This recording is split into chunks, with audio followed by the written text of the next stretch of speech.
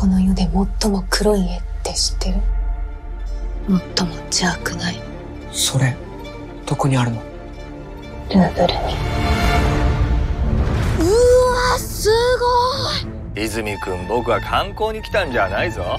彼は人の心や記憶を本にして読むことができる。人気漫画家。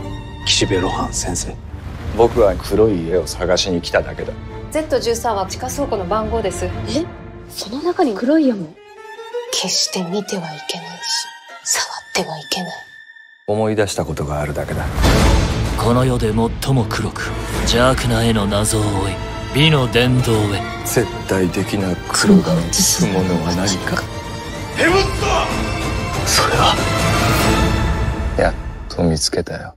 岸辺露伴ルーブルへ行く。人間の手に負える美術館じゃない。そんな気がするね